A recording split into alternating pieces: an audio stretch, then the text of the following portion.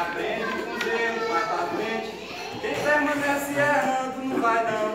E o que vale da vida é fazer bem. Pra ter paz e amor no coração.